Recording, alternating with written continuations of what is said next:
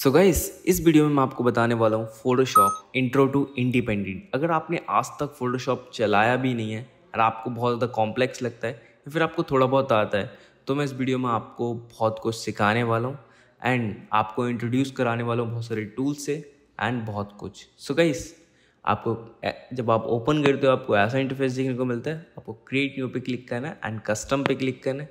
Custom पे click करने के बाद बेट और हाइट पे क्लिक करना है मतलब 90 twenty and ten eighty P select करने के बाद आप खुद से राइट करके क्रिएट वाले ऑप्शन पे क्लिक कर दो। एंड जब आप क्लिक करोगे, अब आपका काम शुरू होता है। देखो सिक्स मिनट में आप ऐसा थंबनेल क्रिएट कर सकते हो। अगर आप आपको, आप अपने आप को आधा घंटा दोगे तो आप और भी अच्छा थंबनेल क्रिएट कर पाओगे। आपको फ़ाइल वाले ऑप्शन पे क्लिक करना है। And place link place embedded यहाँ से आप किसी भी फ़ोटो को इंपोर्ट कर सकते हो आप अपने फ़ोटोशॉप में। मतलब जो भी इमेज है, ये सबसे इम्पोर्टेंट काम यही होता है इमेज को इंपोर्ट करना। तो अब आपको इमेज इंपोर्ट करना आ गया, अब उसको एडजस्ट करना। देखो, आप एक बार उसको एडजस्ट कर देते हो, अब दोबारा एडजस्ट करने जाते हो, फिर प्रॉब्लम आती है। एक नए यूज़र को ज़रूर आती है, मुझे भी आई थी। देखो, आपको कंट्रोल टी करना है एंड फिर से आप इसको एडजस्ट कर सकते हो। जिस भी इमेजेस पे आप क्लिक करते हो मतलब बहुत सारी इमेजेस होंगी, आप उस पर क्लिक करके कंट्रोल टी करोगे, आप उसको एडजस्ट कर सकते हो छोटा बड़ा एंड एंटर करोगे, उस, वो एडजस्ट हो जाएगा।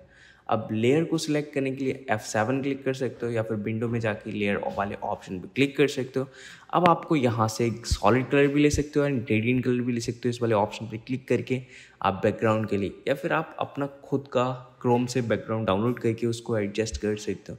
मैं यहाँ पे ग्रेडियंट कलर का बैकग्राउंड सेलेक्ट कर दूँ एंड उसको ड्रॉप करके नीचे लेके आता हूँ अपनी इमेज के और आप देख सकते हो कि ये जो पीछे की साइड जो ग्रेडियंट कलर है, वो हो गया। एंड जेड करके जूम कर सकते हो एंड आपको साइड में भी जूम वाला ऑप्शन देखने को मिल रहा है। आप यहाँ से भी, आप अपने माउस को कुछ इस तरीके से लेके जाओगे तो आप जूम कर सकते हो, या फिर प्लस वाले ऑप्शन से भी आप जूम कर सकते हो एंड माइनस वाले से जूम आउट कर सकते हो। एंड अब मैंने ये इमेज को इम्पोर्ट करा एंड इस पर डबल टैप करा लेयर पे जाके एंड आप यहाँ से स्ट्रोक ड्रॉप शेडो सब कुछ दे सकते हो।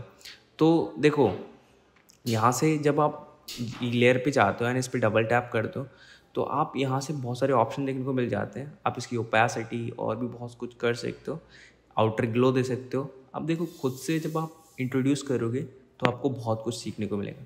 आप टी करके या फिर सिंपली आप टेक्स्ट वाला जो आइकन दिख रहे हैं, आप उस पर क्लिक करोगे, आप यहाँ से कोई भी फॉन्ट मतलब चूज़ करके आप यहाँ पे फॉन्ट में मतलब राइट कर सकते हो।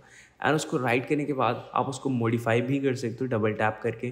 जैसे मैंने लिखा learn Photoshop from basic to independent मतलब बेसिक से इंडिपेंडेंट मतलब आपको कुछ ऐसी चीज़ें मैं बता रहा हूँ, जिससे आप खुद से क्रिएट कर लोगे। अब देखो आप बी मतलब बी जा बी भी प्रेस कर सकते हो, चूल्हे वाला। या फिर आप उसको जो आपको ये ऑप्शन दिख रहा है इस पर भी क्लिक करके आप उसको एडजस्ट कर सकते हो उधर एंड कंट्रोल टी करके आप इसे छोटा बड़ा कर सकते हो। अगर आप इस पर डबल टैप करते हो तो आप इसका ड्रॉप शेडो या फिर स्ट्रोक दे सकते हो और आप इसको थ्री में भी कर सकते हो। तो कई सारे ऑप्शन हैं। जब तक आप खुद से नहीं करोगे आपको नहीं पता चलेगा। आप सेटिंग को छेड़िए थोड़ा एंड आपको बहुत कुछ सीखने को मिलता है फ़ोटोशॉप में। सो so, अब अब जैसे हमने टेक्स्ट को एडिट कर लिया, देखो सिंपली होता है क्या? है थंबनेल क्या होता है? कॉम्बिनेशंस ऑफ़ इमेजेस बस आपके पास अच्छे इमेजेस होने चाहिए, अच्छे क्वालिटी के इमेजेस होने चाहिए। आप बहुत अच्छा थंबनेल क्रिएट कर सकते हो। अब प्लस वाले ऑप्शन पे क्लिक करके एम्पिटी लेयर को क्रिएट करेंगे।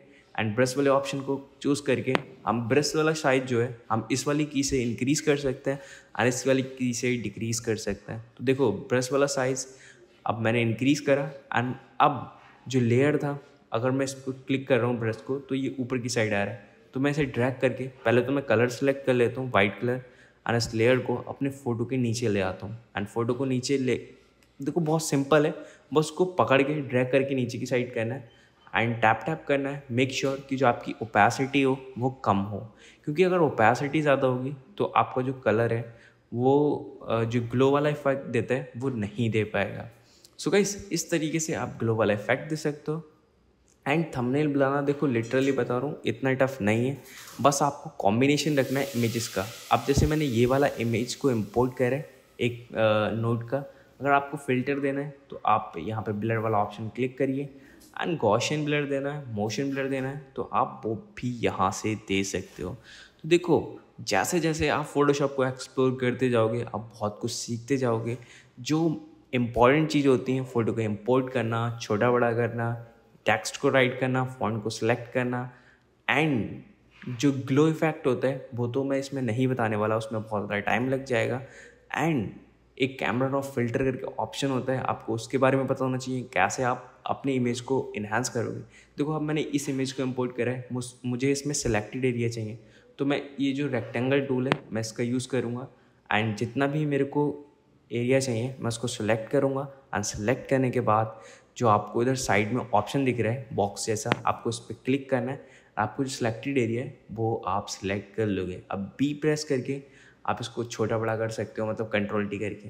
आपको पता होना चाहिए कि आपका थंबनेल क्रिएट हो जाता है तो कैसे उसको इन्हेंस करना है। आप आप स्केल इमेज का यूज़ करके मतलब वेबसाइट का, आप उससे इन्हांस कर सकते हो इमेज को। अब देखो जो ब्रश वाला क्विक सिलेक्शन टूल होता है, आप सिलेक्ट सब्जेक्ट से भी कर सकते हो एंड इसकी मदद से आप सिलेक्ट कर सकते हो। आ, किसी भी इमेज को मतलब किसी भी फ़ोटो में से आप इमेज को अलग कर सकते हो। तो एंड इसको आप छोटा बड़ा कर सकते हो कंट्रोल टी से। एंड जो आपको नीचे की साइड जो रेक्टेंगल टूल मिलता है इसकी मदद से आप जो भी मतलब बैकग्राउंड में जो भी कलर्स कलर देना है इरेजर टूल से ऑफकोर्स यार इरेजर टूल से आप इरेज कर सकते हो। तो देखो टूल्स इतने ज़्यादा मतलब हार्ड नहीं होते आप धीरे धीरे समझते जाते हो। अब जैसे आपका थंबनेल क्रिएट होता है फ़ाइल पे जाके एक्सपोर्ट एंड एक्सपोर्ट एस पे क्लिक करना है एंड जो पीएनजी वाला ऑप्शन है, उसको आप जे क्लिक करें एंड आप अपने थंबनेल को एक्सपोर्ट कर लें। तो देखो थंबनेल बनाना इतना कुछ टफ नहीं है सो आई होप वीडियो अच्छा लगा होगा। अगर अब आपको समझ में आ गया होगा, अब आप खुद से थंबनेल क्रिएट कर पाओगे सो आई होप वीडियो अच्छा लगा होगा।